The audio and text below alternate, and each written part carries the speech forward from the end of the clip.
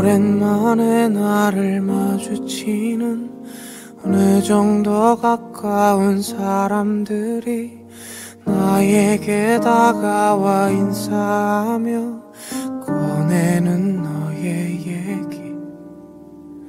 누구와 만나 무얼했는지 너 요즘은 어떤지 살만한지 소식과 근황을 전하고 나면 내 걱정으로 마무리. 그럼 나는 웃으면서 다행이네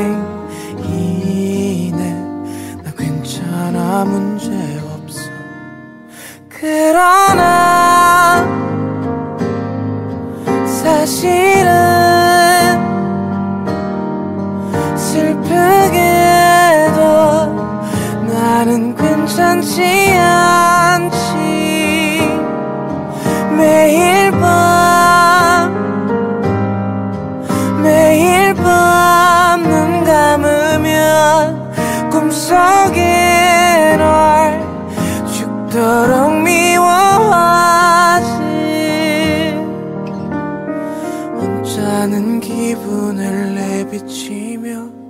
널 아프게 말하는 친구에게 아냐 이제와 다시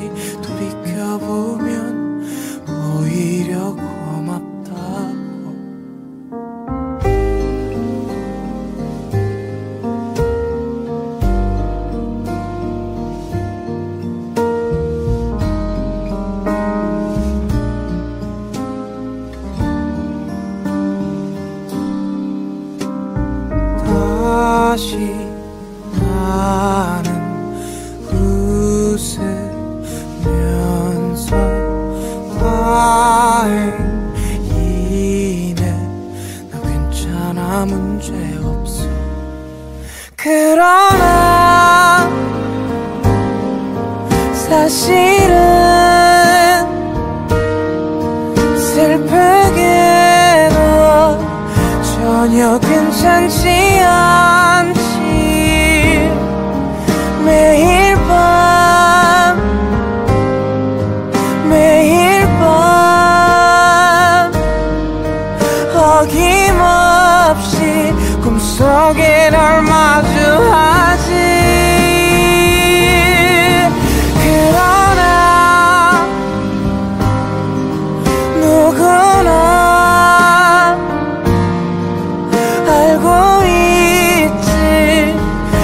나는 괜찮지 않지